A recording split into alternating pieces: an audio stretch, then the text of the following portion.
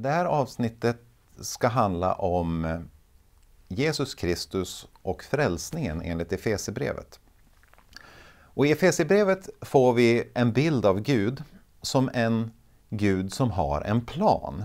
Och, den här, och Gud med sin plan, han är som en god, godhjärtad antik härskare. Han vill, han vill rädda människorna som den goda ansvarsfulla härskaren han är. Men han vill också ha rättmätig ära för det han gör, så som en god antik härskare. Till exempel så står det till exempel i kapitel 1, vers 11. I honom har vi fått våran arvslott, förut, förutbestämda därtill av honom som låter allt ske efter sin vilja och sitt beslut. Det vill säga Gud har en plan. Och sen så kommer det, vi ska vara Gud till pris och ära. Så Gud förväntar sig detta gensvar i form av ära. Och det här är ingenting konstigt i antiken, att tänka sig att den som är över en, Gud, ska ha sin rättmätiga ära. Men det kan man ju tänka sig att många idag som lever i församlingar med kanske lite mer demokratiska och jämlika ideal, vi, vi gillar ju kanske inte så mycket hierarkiska relationer oss människor emellan. Eh, så där kan man kunna fundera på hur bekväm känner jag mig med den här tanken på att Gud står tydligt över mig enligt Efesierbrevet och som gensvar på hans godhjärtade, räddande handling så förväntar sig Gud ett gensvar i form av ära och pris. Det kanske kan finnas något positivt i det när man tänker efter. Eh, att uttrycka sitt beroende och sin tacksamhet mot, eh, mot Gud. Men Guds plan i alla fall består enligt Efesierbrevet av två delar. Den första delen är döden på korset. Och den andra delen som kanske är lite speciellt för eh, eh, Efesierbrevet som betonas särskilt är att Kristus sätts på tronen som en kosmisk härskare. Men om vi börjar med den här eh, första delen, det Jesus gjorde på korset, så blir det tydligast i kapitel 2. Det sägs i början av kapitel 2 att ni var döda genom era överträdelser och synder den gång ni levde i dem på denna tidens och världens vis och lät er ledas av försten över luftens rike. Så det finns ett tydligt då. Eh, en situation där de var i, i, helt enkelt ett väldigt dåligt tillstånd i att de var döda genom sina överträdelser och synder. Men så läser vi vidare i kapitel 2 och till exempel i vers 13 och framåt så står det att men nu, tack vare Kristus Jesus, har ni som en gång var långt borta kommit nära genom Kristi blod. Han är vår fred. Han har med sitt liv på jorden gjort de två lägren till ett och rivit skiljemuren, fiendskapet.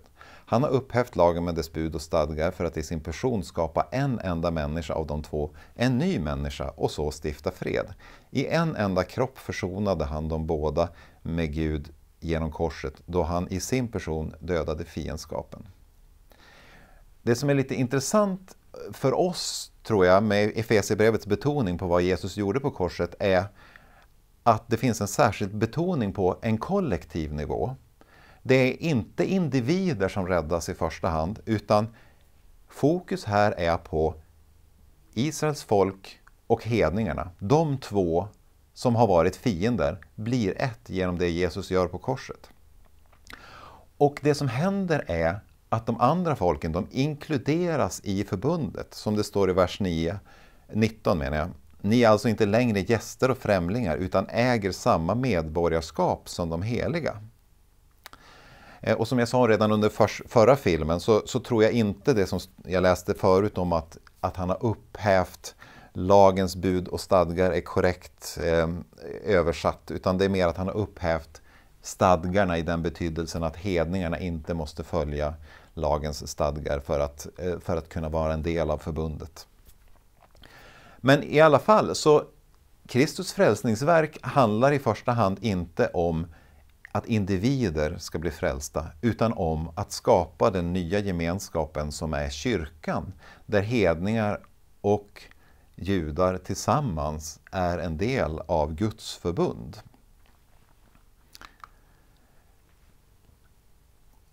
Om vi går vidare till den andra delen, som kanske är det som är lite mer speciellt för Efesierbrevet, Kristus som kosmisk härskare, så, så finns det vissa vissa antydningar till det tidigare redan i första Korinthierbrevet. I första Korinthierbrevet 15, när Paulus pratar om eh, hur uppståndelsen kommer gå, gå till i framtiden, så säger han så här eh, i kapitel 15, vers 24 och framåt. Sen kommer slutet, när han överlämnar riket åt Gud, Fadern. Han har förintat varje välde och varje makt och varje kraft.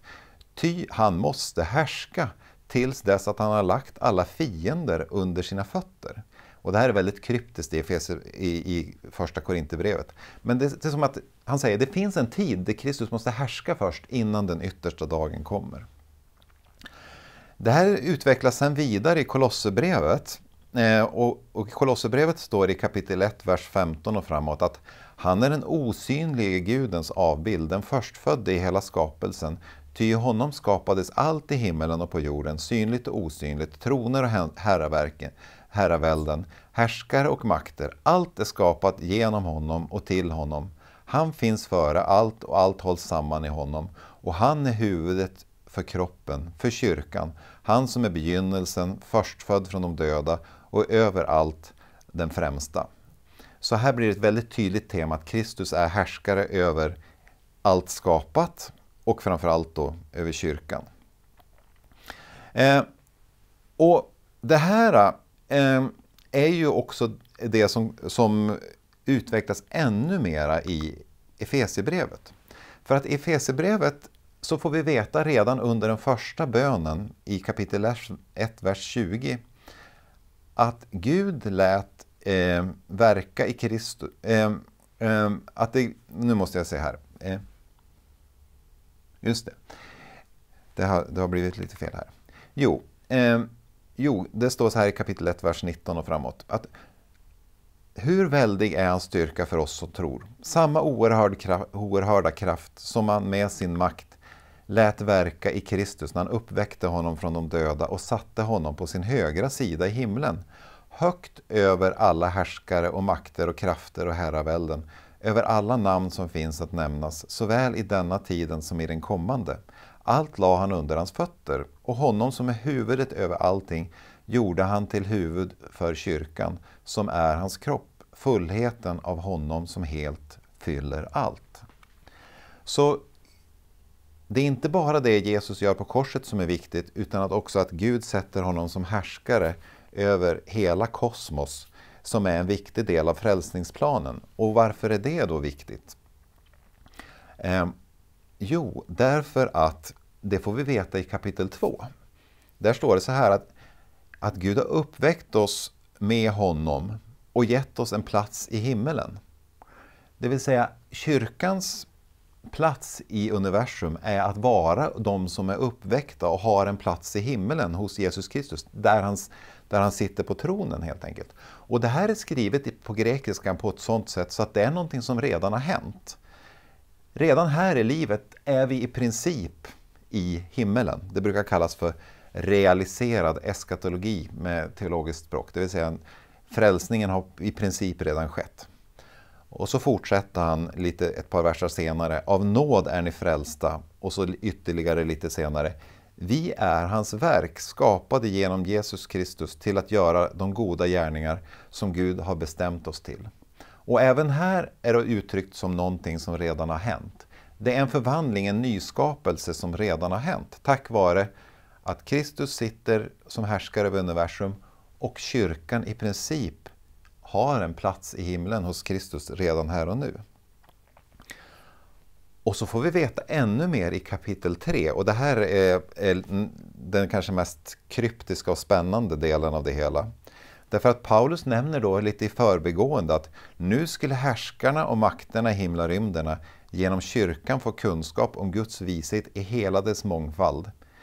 Detta var en avsikt med världen som man förverkligade eh, eh, i, i, i och med Kristus Jesus, vår Herre. Men konstaterar här att nu skulle härskarna och makterna i himlarymderna genom kyrkan få kunskap om Guds vishet. Så på något sätt är kyrkans roll i världen att visa hela världen, inklusive de härskarna och makterna, vad Guds vishet är. Eh, och det här ska vi fördjupa senare under ett senare avsnitt. Eh, men, men det jag ville säga idag var eh, i alla fall att, att frälsningen enligt Efesierbrevet har de, båda de här delarna. Dels det Jesus gjorde på korset, då förenade han de två till ett. Men dels det Jesus gör i nuet när han härskar över hela universum och där kyrkan får vara en del av detta härskande genom att visa hela världen eh, på Guds vishet. Det här kan ju kännas lite ovant för nutida kristna såklart. Eh, både det här med att försoningen handlar inte bara om, om jag och Gud utan det handlar om försoning mellan etniska grupper. Det kan också kännas lite ovant det här med att det är vi, de som inte är judarna, som ska inkluderas i förbundet. Ehm, det kan också kännas lite ovant att tala om frälsningen som någonting som i princip redan har skett fastän att eh, in, vi, vi, lever ju fortfarande här på jorden här och nu. Och att det är en förvandling som i princip redan har skett. Men det kan också vara intressant att tänka, vad händer med oss som kyrka och som kristna om vi börjar tänka på oss själva som några som i princip redan har genomgått någon typ av förändring, som i princip redan nu sitter eh, vid Kristus. Eh, och, och kanske det som kanske känns ovanast för många av oss, det är kanske att tänka sig att den frälsning som Jesus åstadkommer, den gör han inte bara genom att dö genom våra synder, utan också genom att härska över kosmos och kyrkan. Och det här ska vi fördjupa under kommande avsnitt också. Men där sätter jag punkt för det jag hade tänkt att säga om hur Kristus frälser enligt Efesierbrevet.